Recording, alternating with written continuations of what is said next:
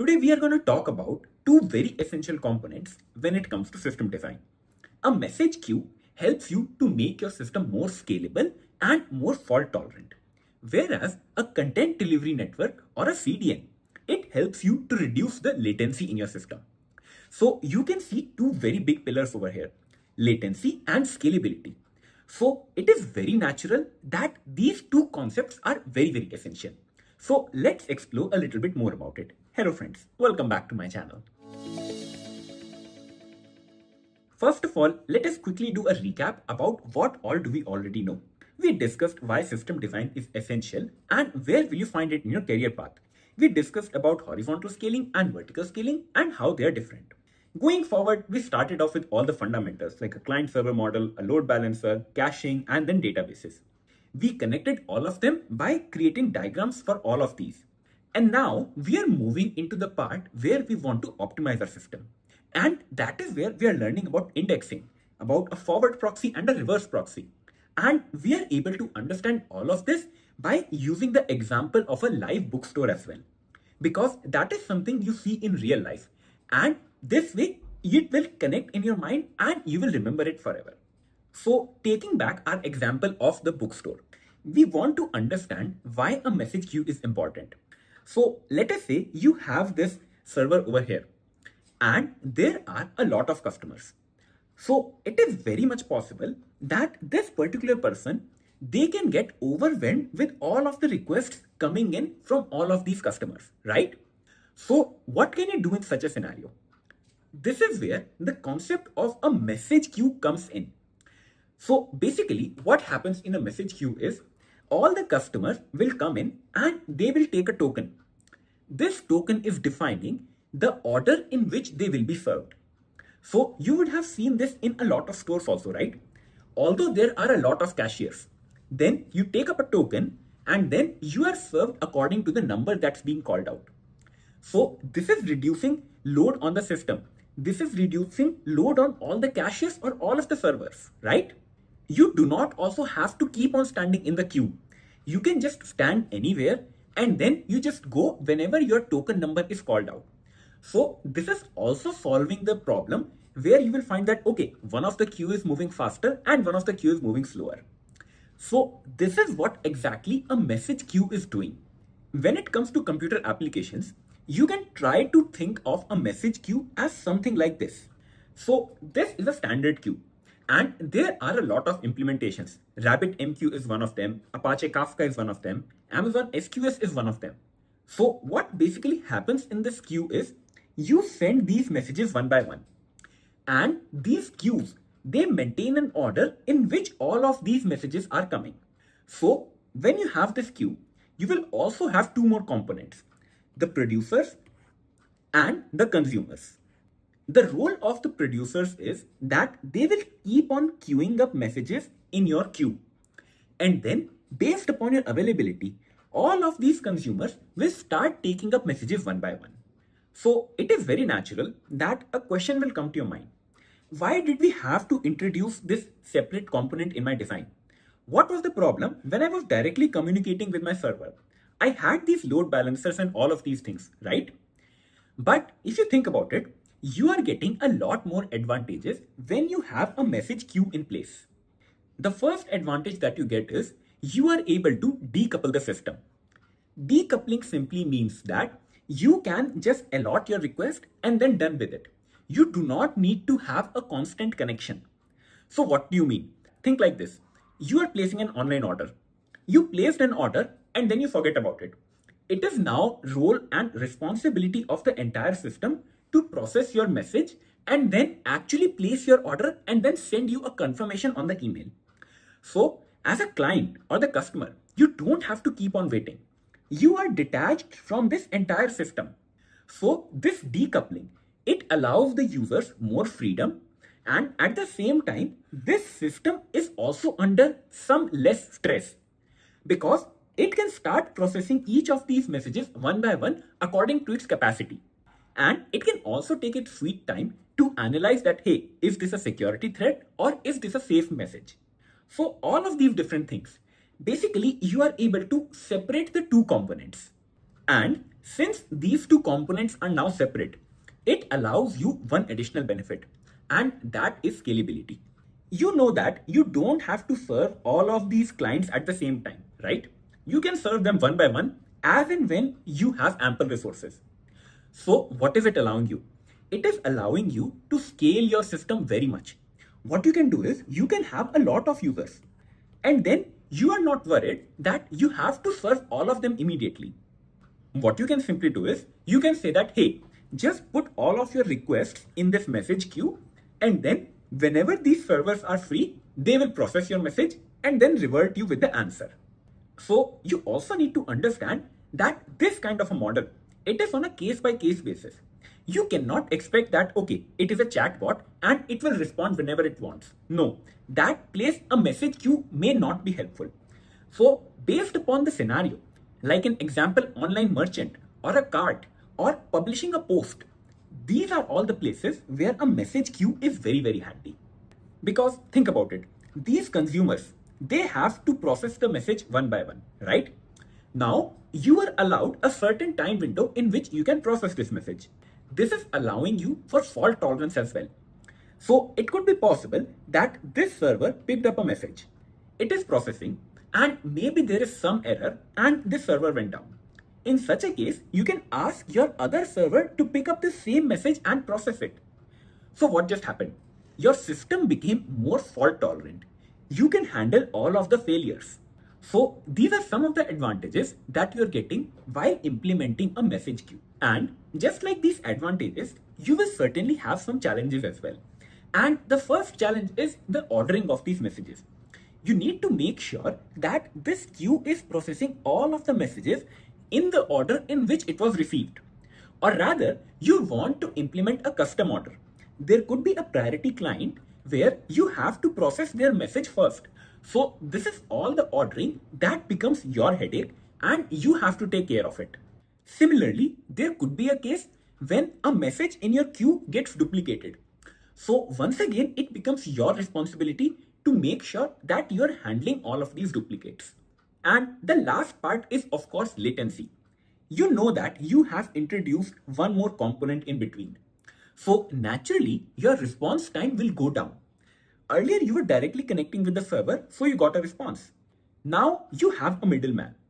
So naturally it will take some additional time for the message to first reach the queue and then reach the server. And then you will get back your response. And who knows that there could be a message queue in the response as well. So it is all based upon the use case. Think about when you want to add the message queue. The benefits should outweigh the challenges and the shortcomings. If you rack your brains a little bit more, you can find the applications of a message queue in a lot of places. You all use social networks, right? And you see the notification system, correct? So what is happening?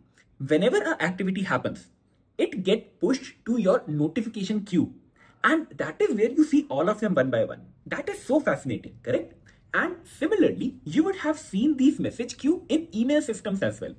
It is possible that you have a lot of messages in your outbox. You know that as soon as you connect to the internet, you have to send all of these messages. So once again, the message queue comes in handy. You store all of your messages over there and then you start sending them one by one.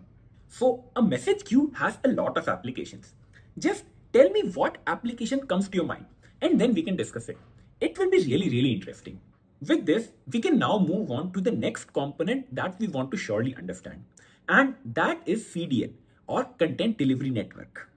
And once again, to understand it, let us go back to our example of bookstore. So let us say that you have a lot of bookstores in the city. Each are in different locations. Now, if you have to maintain a warehouse of all of these bookstores, what will you do? Will you just have a warehouse somewhere in the between and then all of the inventory of all the stores that is managed through this particular warehouse? Or think about a different scenario. What if I maintain a warehouse based upon the cluster of all of the bookstores that I have? So this particular warehouse, it can serve all of these bookstores, whereas this particular warehouse can serve these two bookstores. So what I'm basically doing is I am maintaining a warehouse that has all of my content. So I am able to reduce the time that it takes to go and fetch a resource from my warehouse. Basically, what is happening over here? You want to make an app that is scaling up to a million users, right? So your users can be in any part of the world, correct? So what do you think? Does it make sense that you go ahead and deploy your application only in one part of the world? So yes, all of these users will be very happy. Their response time will be very low. But what about all of this audience? For any request that they make, it has to travel halfway around the world and then get a response back once again. So this is taking up a lot of time. It may feel that it is just fraction of seconds, but making multiple requests, it can really slow down the experience. Nobody likes a slow site, right? So this is where content delivery networks come in very, very handy. What you can do is you can have the main part of your application deployed somewhere centrally. And for all of your audience around the world, what you can do is you can establish a content delivery network for all of the different regions. What this CDN is doing is it is storing or caching all of the content that you need for your application. So whenever all of these clients make a request, first of all, they will try to query the CDN and there is a very good chance that they will get all of the data that they need.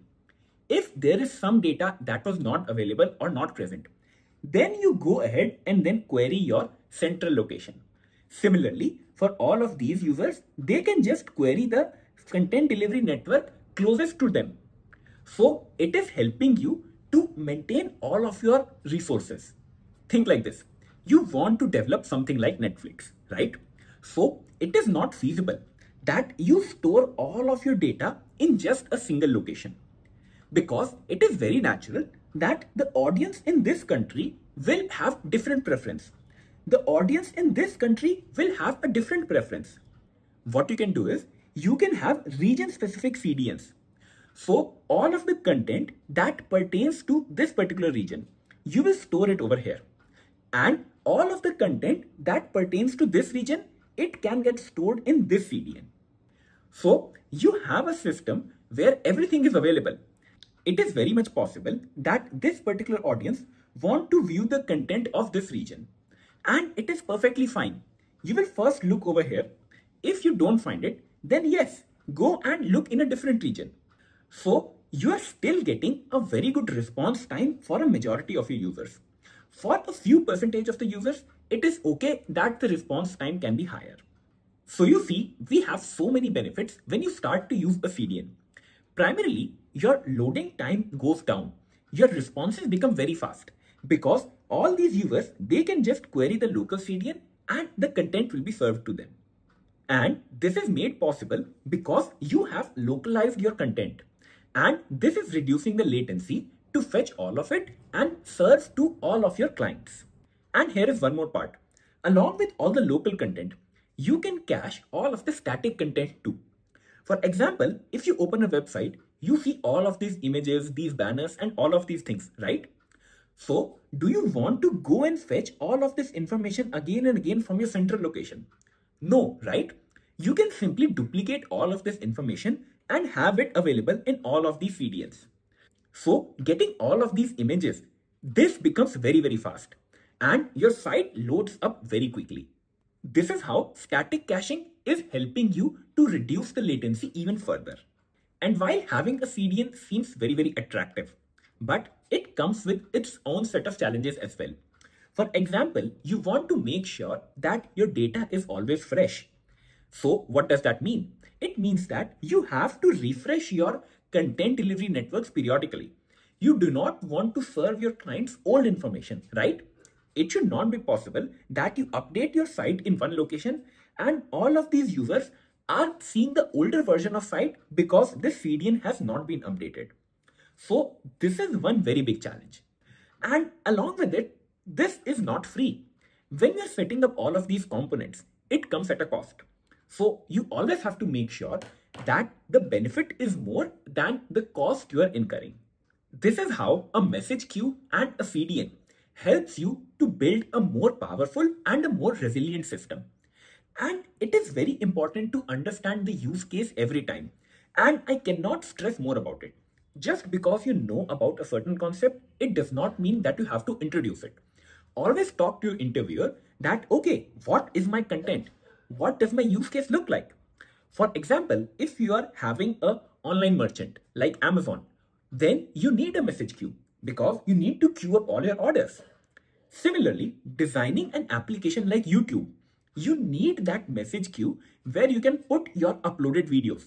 That, okay, this video has been uploaded, I will transcode it whenever. A new video comes and then I will transcode it. Because it is not necessary that as soon as I upload a video, it should be available in the best quality immediately. That does not happen, right? So all of this is food for thought. And whenever you are approaching a problem, just keep all of these concepts in mind. While going throughout the video, did you face any problems? Or what other applications have you found for message queues and CDNs? Tell me everything in the comment section below and it will become a really good discussion place. Also, if you found this video helpful, please do consider subscribing to my channel and share this video with your friends. This really keeps me motivated and I can make more such videos. Also, a huge shout out to all of the members who support my channel. You guys really keep me going. And as a member, you do get priority reply to your comments and early access to new videos as well. Stay tuned for my upcoming videos. We will be covering more of some of the model designs. Until then, see ya.